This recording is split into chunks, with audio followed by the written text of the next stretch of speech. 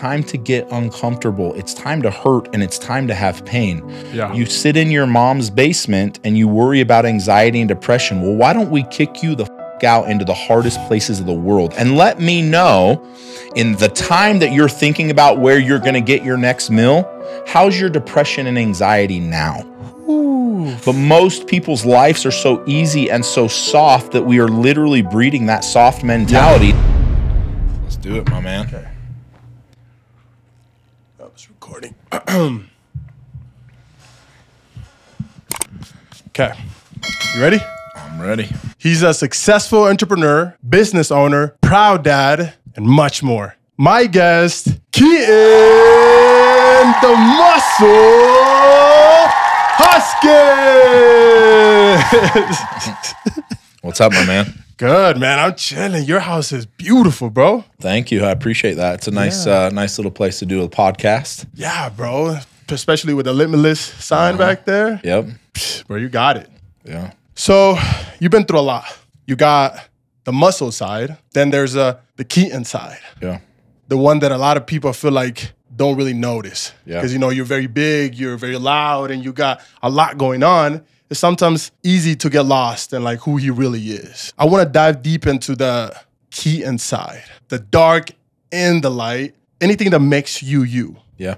I want to start with your dad passed away when you were 21 years old. Mm-hmm. How did that impact your life in the personal and the business side? You know, that was, and I tell people this all the time, that was the most pivoting moment, I think, in my life, even to date, even, you know, with the birth of my children and the marriage to my wife and all the wonderful things that have happened to me. That was the most pivotal moment in my life. I was in a really, really good place in my life. I had just gotten back from being a Mormon missionary and I was in a, a really good, high state of spirituality. Yeah. And I was as prepared as I could have been for my father's death, but, uh, when I when I sat next to my father and pretty much held his hand while he passed away, I listened to a lot of things, regrets, you know, deathbed uh, sorrows, and all of that. I realized really, really quickly that I was going to live and die by one saying, and it's something that I say a lot now because it was forged into my mind during my father's death, and it was I would rather sink on my own ship than I would sail on somebody else's. And a lot of people think that that's a prideful thing, and, and they would say, that doesn't make any sense. Why wouldn't you just want to be successful or just sail on somebody else's ship? And the truth is, is I just don't work that way. My brain doesn't work that way. It doesn't allow me to do that. I wasn't able to jump through hoops. I wasn't able to work for somebody. I wasn't able to work under somebody or for somebody. I realized really quickly that I was either going to fail and fail and fail until I got it or I wasn't going to do it at all. Like Fuck there yeah. was there was no other like second choice or second piece to that. Yeah. I, I didn't have a backup plan of like, well, I can go work for somebody or I can go do something. And so realistically, in my life, the most pivoting moment was that that 21 year old me meeting with my dying father, listening to his stories, listening to the things that he had taught me. And a lot of what he had taught me was actually wrong. And he knew it was wrong at the end of his life. Yeah. And that was take the safe route, go to school, get an education, 401k, nine to five, college, you know, all that bullshit. Yeah, it's a bunch of bullshit. It's all bullshit. And when he sat on his deathbed and realized even to himself, that's not safe. It's not safe. There is no safety. There's nothing. Yeah. And so when I realized that, I said, well, if there's no safety, then I'm going to do whatever the fuck I want to do. Woo. And I made that decision from that time. And from that time until now, that's how I do things. People either love me or they hate me, and I'm okay with that. Who gives a fuck? No, I don't care. Um, but the reality of it is, I live the life that I want to live. I built it the way I wanted to build it. I've made a ton of mistakes and I've learned from those mistakes. And both personally and in business, when I made the decision that I was going to sink on my own shit or I was not doing it, I have. I have. There's Yeah. been a lot of things I've done that if I would have done with somebody else, I probably would have been more successful in some some hmm. areas. You know, they say a man doesn't really become a man until his father dies. A hundred percent. When I hear your story, that hit me because Yeah. that's incredible to me, man. I'm fortunate enough and very lucky that that hasn't happened to me. Yeah. I don't have shit to be sad about. Yeah. The day is coming. The day that I'm really gonna cry like a little bitch Yeah. it's gonna happen because my father is someone who has taught me so much. It has helped me become the man that I am. Yeah. So I see it, and it's like incredible for me that you've been through that. Yeah. Right? What's the number one thing you think your father taught you? What's the most important thing he's taught you? Family over everything. That's what I got tattooed. Ooh, that's fucking dope, bro. I need to get that one too somewhere. Yeah. Have to. A lot of people don't understand the amount of energy that takes to destroy your reality. Yeah. First of all, you come from a place where it's you know you you've been in a mission and everything looks like cookie cutter. You know what I mean? Like everything is okay, the Lord and everything, and then boom, you get back. Where the fuck are you, God? Yeah. You took my father. Yeah. What I do now? Yeah. And I feel like that was a pivotal moment for you to just find your real self and become that man that, frankly, all of us men want to become. Yeah. In biblical times, it was called the patriarch. Ooh. And um, we all know that there's the patriarch of the family is always the leader of the family, the Yes. male leader of the family. And I loved my dad, and he was a great man. I don't know if my dad was as good of a leader as I believed when I was younger. Now looking hmm. back, and it's one of the reasons why I think he did a nine to five, and while he was who he was. Yeah. But when he passed away, I actually understood what patriarch meant because I got that passed to me. Yeah. Not by choice. I was the oldest of five kids. My father was the patriarch of our home. And when he passed on, I took that mantle and I took Yeah. it very, very seriously. And when I took that mantle, it was time for me to become a man. And, you know, I look back and I'm hard on the younger generations now because I think that there's a lot of bullshit out there. But I look back and, dude, 21 to take on the mantle of being a patriarch of a family of five and a, and a mother, a distraught mother, and, and all of that, it was a lot, dude. That's big. But I'll tell you that all of my successes to this day are because of the choices that I made to become that man that I needed to become, that essentially I was forced into Yeah. becoming, you know? And I, I'm thankful for it. Yeah. It's crazy. My dad died at 47 years old. That's only 11 That's years young. away from me. That's young. And and it, it is young. But what I realized and what I was really grateful for is all the hard shit that he taught me to prepare me for when that time came. My father knew, he always knew. In fact, all of us knew he was going to die young. He was always sick yeah. but he prepared harshly sometimes he prepared me to become that man and take that mantle and although i've made millions and millions of mistakes i feel proud of myself for the accomplishments that I've been able to obtain and be blessed with to be able to take that mantle and do very very well with it. When I became the patriarch, I took that calling seriously. And it you know, it bled into my own family, you know. I'm the patriarch of my family now. I'm still the patriarch of my my family. Like my siblings look to me, my mother still looks to me, all of them wonderful respectively in their own elements, but I mean, this last year I retired my mom. And that uh, ding, ding, ding, ding, ding. yeah. That's a huge it, it was a big deal. I actually sat her right here in this room and and I just said to her, you know, I know if dad was still here, he wouldn't have you working. Wow. And I know that when he passed on and he passed that mantle to me, that I want to be able to do that for you. And so I told her, I said, listen, I, there's, I don't need to give you cash, but here's a card and you use this however you want. You don't need to worry about how much money's on it. You don't need to worry about how much money you spend. From this time forward, you no longer have to worry.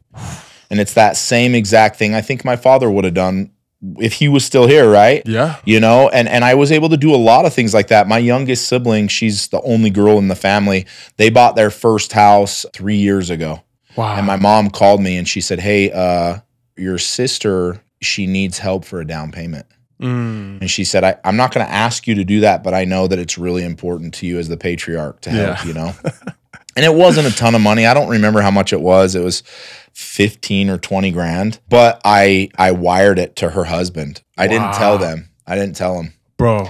so I wired it to him, and immediately they called me. You know, because you know you see when fifteen grand comes in your account Yeah. or whatever it was.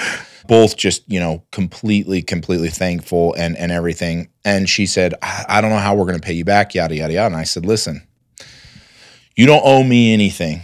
When I took on that mantle of being the patriarch, I also took on the role of your father. And when he passed away, he handed that to me. So that mm. gift is to you from dad. It's not from me. Wow. And he's blessed my life to be that patriarch to give you those things and their gifts. They're gifts that he would have given to you if he was still here. Wow. And so you don't owe me nothing.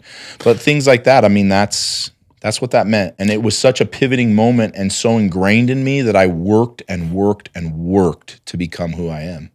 You know, it's funny. I'm a big believer that the more you go through in life, the faster you mature, right? And I feel like the new generation is losing that. Yeah. They don't understand how beautiful it is to have fucking responsibility. Yeah. Like waking up in the morning and not having to think about it, it's a beautiful thing. Yeah. You wake up and then, bro, sometimes I don't want to do shit. yeah. But I know that my girl, I want her to be in the silkiest beds ever. Yeah, yeah. I want my future kids to not have to worry about the shit that I worried about. I don't want that. Yeah. But that doesn't come overnight. It comes when something really fucked up happens to you. Yeah. And a lot of fucked up shit's not happening to younger kids. Yeah. It's that it's that old saying, hard times create hard men. Yes. Hard men create soft times, and soft times create soft men, and soft men create hard times. Yes, bro. You know, and and even Joe Rogan, he said we're in we're in soft times. we are. and it's creating soft men. Yeah. And you need to make a decision if you seek to become a hard man, which every man should. You gotta do hard shit, and Yes. that's really hard right now because everything is so fucking soft. bro, I just got a house, right? Got a house. I spent a whole year just leaving it in the side. You know, I I I, uh, I got another place that I stay at, and I'm like, oh, I'm gonna fix that. Nothing happened in a year. Yeah, Two months ago, I was like, what the fuck happened to you? I looked at myself in the mirror and I was like, you're disciplined. You care about things. You love your life and everybody around you. Why the fuck haven't you finished that house? yeah. I've been in that house 24 7 almost, bro. Yeah, yeah. Right after work, You're in there working. bro. I, so I wake up in the morning, do my clips, Yeah. put out the things that I need to put out.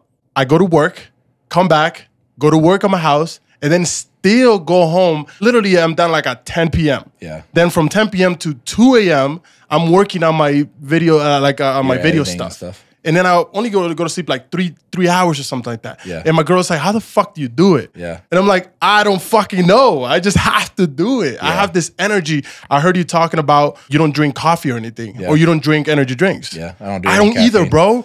And people, uh, when I see people that drink energy drinks or caffeine or something to get them going, I'm like, oh, you don't have a purpose yet. Yeah. You don't know what your purpose is because when you find the purpose, that becomes your energy drink. I have a lot of assistants. Um, I have I have three assistants actually, and one of them um, he's from Mexico. He's a good kid, and he works hard. He actually owns his own construction company, but he's here with me almost every day. Damn. he's always doing stuff all over the place. And listen, we both know the Mexican people are probably the hardest working people. They just are. Like Hey. like we know that. You know? Latinos, Latinos. you Yeah, know yeah, Latinos, whatever. and dude, in all the business I've had, they're always my hardest working people. They really are. Well, dude, the other day, I had him with me Uh-huh. from. All, I had him with me all day because I had. Uh, in fact, when I gave my speech out in Salt Lake, Yeah. You know, we got up at six. We went to the gym. I went and gave my speech. I came home. I had a podcast. Then I had to film a TV thing. Um, and then I had four meetings back to back to back. And then I had to finish with a dinner. And then at the end of it, I had one more meeting. And then I had to spend time with my family. Well, The most important thing. yeah, too. yeah. Well, well, at 7 30, 8 o'clock at night, I came out of my last meeting. He was sitting um, in my living room, um, and I could tell he was worn out. Yeah. And he goes, I don't know how the fuck you do it. And I said, What? I didn't know what he was talking about. I said, What? He goes, Bro, everything you just did today takes people weeks and weeks and weeks to Yes. do. And you're just going and going and going. And, you know, he's hearing me in meetings. He's hearing me like there's always energy. There's always like, uh, you know, the passion behind everything that I'm doing. He's like, Bro, you turned it on from the time you woke up and it's still on. At, we're going on eight o'clock at night. It's time to give it to your family. Like, and don't get me wrong, I like to spend time and just hang out with my Yeah. family, right? They don't get crazy, crazy energy me, but whatever we're gonna do, we're gonna do it, right? Yeah. And he was like, I don't know how you do it, but it's very inspiring. And I said, listen, there's no secret here. Nothing, bro. You got to be able to love what you do. And when you truly love what you do, there you don't see time and energy anymore. yeah. All you see is how much time do I have to get done what I want to get done. Facts, bro. You know? Oh shit. It's funny how before I would work till 8 p.m. and I would get super tired. Yeah. But now that I have more responsibility, I work till 8 p.m. and I'm like, what else is there to do? Yeah. It's like, oh, let's take our dog out. Okay, Yeah. cool, let's take our dog out. Yeah. And then I can calm down. Yeah. And then when we're done with that, I get back home and then we go harder. And my girl's like, can you go to sleep with me? Yeah. And I'm like, I can't because I'm working right now. Yeah. So then we can go to sleep in Malibu. Yeah, yeah. You know what I mean? Like, it's yeah, a trade. My wife's funny. I, I've I've made a very very um, comfortable life for my children and my wife. Very very comfortable. You know, we just had our our baby about two weeks ago, yeah. and I hired a nurse that stays here and takes care of the baby uh, at night so we can sleep. I got an assistant for my wife that Yeah. pretty much does everything she needs. I've got a nanny. I've got a chef, and then I have my own assistant. And so, literally, my wife, my children, their lives are very, very comfortable. Yes. Right. And so, you know, throughout the day, like I think even right now, I shouldn't blast her, but I think she's upstairs sleeping with the baby right now, taking a nap, you know. I finish my day seven, eight o'clock at night, right? And the first thing I do, I jump out of this office. I'm like, let's go do something. Let's go do something, right? That's important. And she's like, What are you doing? You've been going all day and you're coming now to us saying, Let's go do something. We all just want to hang out. And I'm like, No, let's go do something. Let's go enjoy, you know, our time.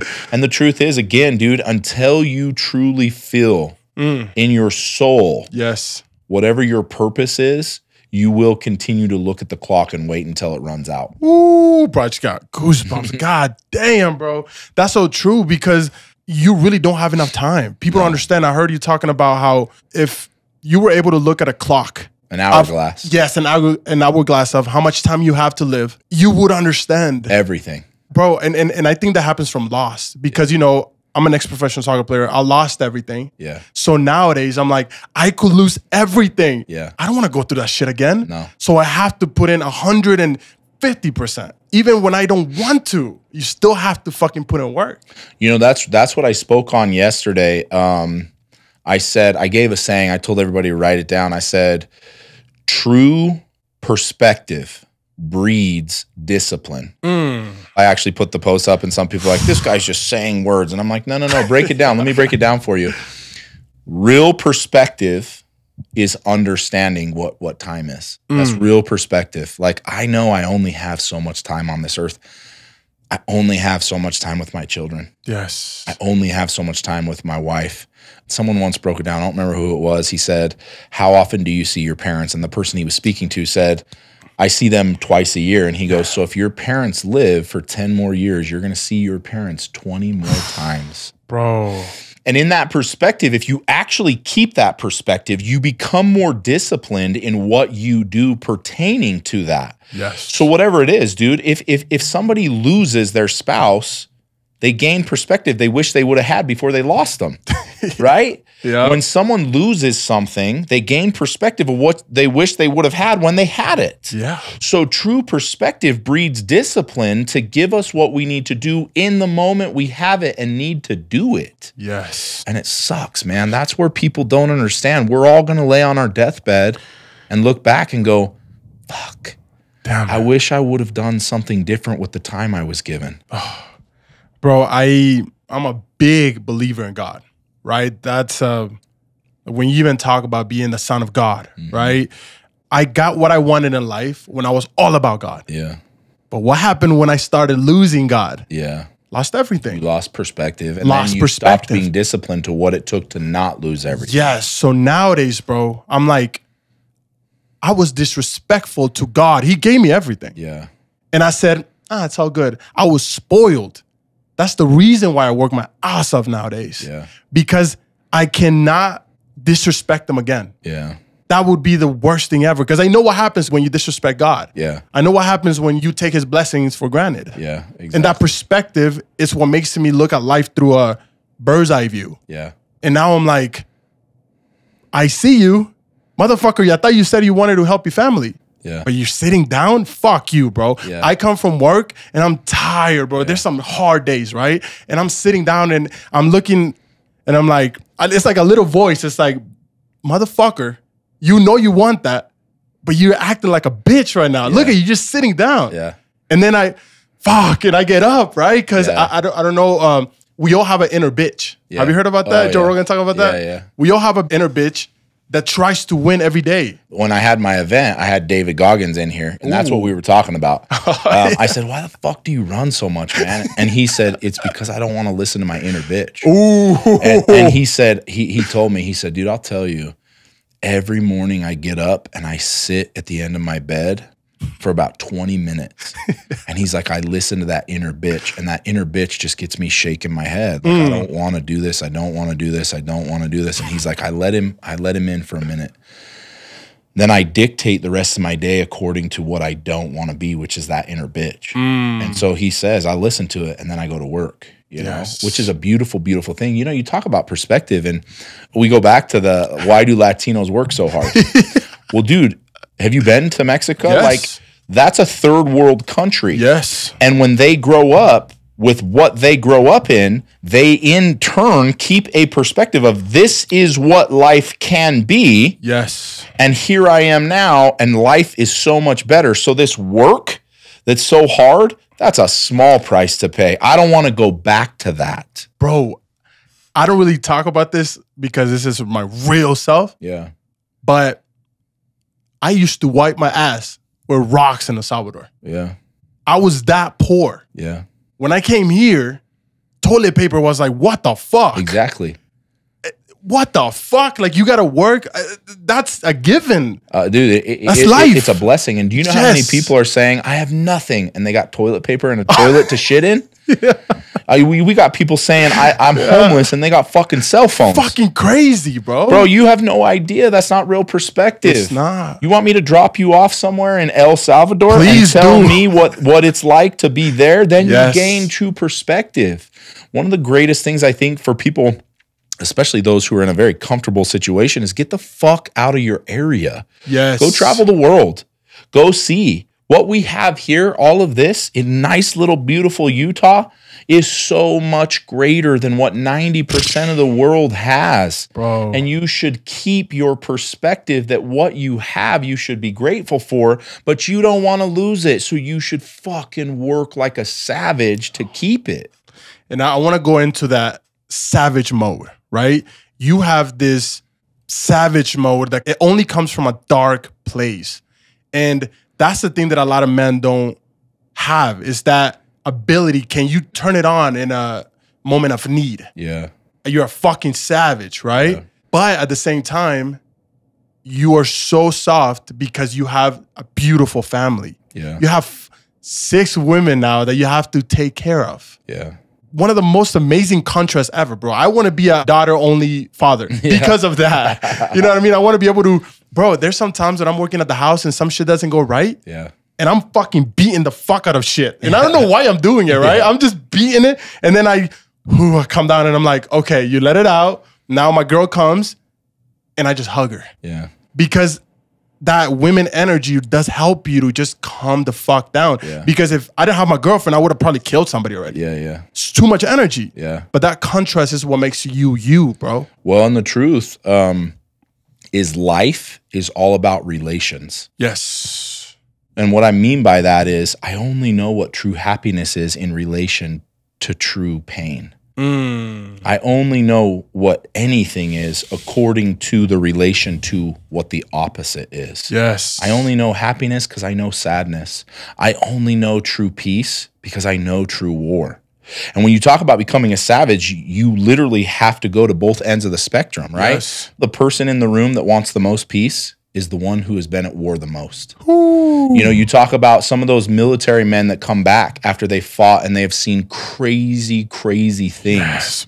The most dangerous men in the world are usually the most peaceful because they have seen the opposite end and they seek to be on the other end of that spectrum. Yes. Right. And then uh, on the same thing, and we all know this, but the dog that barks the loudest is usually the one with the smallest bite yeah. you know and so and so for for me if i truly truly seek peace i must also understand that i have to be a savage i have to be an animal i have to be a warrior Yeah. and the more i understand that life is relation to then i soak up the hard times because the hard times teach me what the good times are Yes. and the same exact thing over and over throughout life.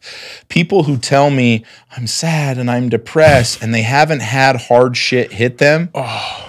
What that means to me is it's time to get uncomfortable. It's time to hurt and it's time to have pain. Yeah. You sit in your mom's basement and you worry about anxiety and depression. Well, why don't we kick you the fuck out into the hardest places of the world and let me know in the time that you're thinking about where you're going to get your next meal, how's your depression and anxiety now? But most people's lives are so easy and so soft that we are literally breeding that soft mentality. Now, listen, I'm not here to say there isn't mental illness. I'm not saying that. But I am saying that a cure for most of it is actionable things that teach you how to gain true perspective pertaining to whatever the hell it is in your life. Yeah. I got, and I won't say his name. I have a family member. Um, he always tells me how hard his day is. Like, oh, man, I'm just having a hard day. The, the motherfucker's 24 years old. He lives in mom and dad's basement. And he doesn't have a job. oh my god. His mom and dad are multimillionaires. He has nothing going on. He plays Fortnite all day long. And I think to myself, you know what? If your life was fucking miserably hard, all of your sadness you're feeling right now would go away. Yes. And then with the relations of understanding that you're on the opposite end of where you're at, you would begin to find so much joy and happiness in where you actually are in the moment. Yes. You know, when I see people, I'm struggling so much, and I'm like, have you ever lost a child? Mm. Oh, my day's so hard. Well, what's so hard? Well, I only make 50 grand a year. Do you know people don't make 50 grand in a lifetime? Facts, bro. You know? And again, it goes back to what I kind of started this conversation with, and that's perspective. True perspective breeds discipline. If you can gain a, uh, a perspective in your life and, and find respect for what is reality, then you will be disciplined as a savage to wanting to have the, the other end of it Yes. right? And everybody else in the middle, they never they never really get to experience either. They They never get to have joy because they never had real pain. And the most beautiful, beautiful thing that God set up on this earth was He gave us relations. He gave us the opposites. Mm. Let me first allow you to see pain and sorrow so that you can understand true happiness and true peace. Mm. And that's how you actually find everything you want in this life Yeah. when I had nothing, it taught me that when I now have everything, to find nothing but gratitude in every single thing that I have, because I know what it's like to have nothing. Uh, when I was 21 years old and my dad died, and you know, a lot of people, because I was pretty successful fairly quickly because I was so disciplined in making Yeah. money. When my dad died, everybody was like, "Oh, well, your dad must have had some kind of will that gave you money." Dude, I had 125 dollars in my bank account when my dad died at 21 years old. When he died, because he was so sick, the tiny little will he had went to paying off bills. That was it. He gave the house to my mom, obviously, and that was it. And she took that house and she bought another house, and that was it. There was no more money to be had. I never had any money. Now, I'm not going to sit here and say I, I grew up in El Salvador. I'm not going to say that my life was hard because it wasn't. But what I do know is what I have today is a huge contrast to what I once had. And that has allowed me to remain in that perspective. It's allowed me to stay disciplined to what it takes to stay right the fuck here, Yes. which is being a savage in my disciplines that keep me successful. yeah. Well, bro, it's all about the threshold, right? Yeah.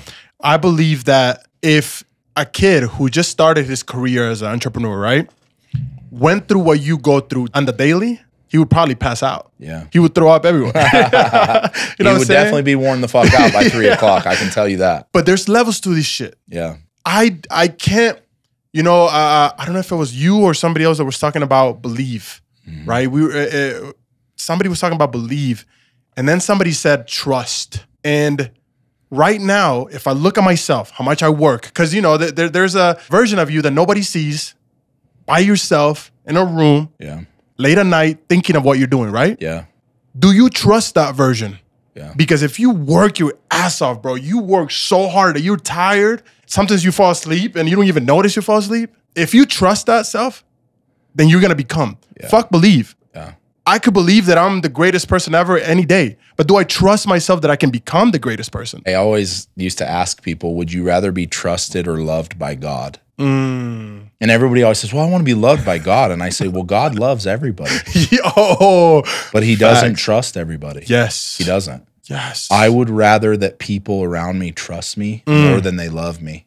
I would rather trust myself than I would love myself. Bro. Now, the cool thing is, is that when you do trust yourself, love just comes. It just comes with But it. dude, I'll tell you where my confidence comes from and why I build it and why I focus. You know, I mentor, right? Limitless Society is about mentoring people. And I tell people that confidence is everything. The reality is, is if you want to find true confidence, you got to begin to trust yourself. If you put me in any situation, I trust with a hundred percent.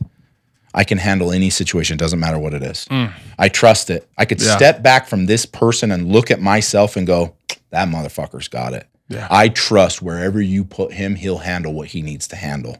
Yes. And most people can't say that. They can't. They can't step away from themselves and say, I don't trust that I'm going to do what I need to do to make correct decisions and do the right actions. So I lack confidence, right? And that's why it's it's kind of this like little circle thing. I don't trust myself, so I don't love myself. I don't love myself, so I don't trust myself. And it's just this downward cycle, whereas it's the opposite end. The second you begin to trust yourself because you're doing what you're supposed to be doing, you love yourself more. And the more you love yourself, the more you trust yourself. And it's an upward cycle. I always tell people all the time there's no buoyancy in life. You're either going up or you're going down. You never stay the same. So when people say to me, nah, nah, it's all kind of been the same, the fuck it has. You've been going down and you don't know you're going down. Yeah. You're either growing and progressing or you're dying. There's no in between. And so when you kind of label all of these things out, they all sound great, but the question is is like, well, how do I begin to trust myself? How do I love myself? Mm. The answer is easy by word and hard by deed, and it's simple. It's you must do what you say you're going to do. I feel like there's a misconception with love because I love what I do, but I don't always want to do it, Yeah. right? I love my girl, but sometimes we go through struggle. Yeah. We're in a generation where everybody wants to do what they love and what feels good. Yeah. Motherfucker, things are not gonna feel good 100% of the time. Yeah. Because you love it, it just makes the ride a little soother. Yeah. Just because you love it doesn't mean you're gonna be successful. No. It just means that in the hard days, you're gonna be like, God, fuck, okay, fine. Let me just keep going. Well, you know, there's a there's a simple solution to that. Again, by word and not by deed. If you learn to love the struggle, that's when you truly become successful. Yes. Um, I don't always love what I'm doing, but I tell you what I do love, and I I I ner- I reluctantly say this. I love the struggle. yeah. Dude, I'm so grateful for the struggle because the struggle is, as I've embraced it and learned to love it, it's what makes me better. And so when I go through things and I'm just out there saying, well, I love it. That's why I do it. The fuck I do. I do it because I love the struggle. And even during the struggle, I enjoy it. I step back in a struggle and go, hey, this is what you signed up for. This is what you're doing, and this is what's going to make you a better person. So when things come and they come all the time, instead of running away and going, Well, I love doing this, but I don't love this struggle, well, then you don't truly love it. Yes. And when you find that, it, it changes everything. I feel like people believe that there's this utopia that if you just work hard, you bust your ass off, you're gonna get to a place where you're finally just chilling. Yeah. And I'm like, motherfucker, the harder you work, the harder it gets. Yeah. You just keep pushing the limit. Yeah. And not everybody can get to those limits. No. The concept of ending up in an island makes no sense to me. Yeah. Right? Everybody works so hard to one day they can just chill in an island doing nothing. And I'm like, give it two weeks, and I'm like, what the fuck is everybody doing? Yeah. Like, what the fuck do I want to do this for? Yeah. They asked somebody that they said, why do you work so hard? Right? Like you could just go to an island and chill. Yeah. And he said, because I'm not you. Yeah. That's why. Because wanting that end game is what is stopping you from becoming the greater self. One of the most beautiful uh, things I ever heard, one of my favorite people to listen to is Alan Watts. And he said, Life is a hoax. and I was like, okay, what, let's hear, what do you have to say? And he said, you know, you're born and then you kind of prepare to go to school. Yeah. And then in kindergarten, you prepare for first grade. And in first grade, you prepare for second. And second grade, you prepare for fourth and fifth. And then in junior high, you prepare for high school. And then in college, you prepare for your career. And then you get to your career and you prepare to have a better career. And then you prepare to be the highest in your career. And then at some point, he said 40 to 45 years old, you turn around and you go, this whole thing has been a hoax. God damn. I'm not preparing for anything.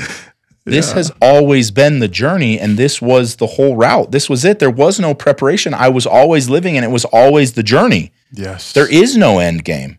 The end game is death.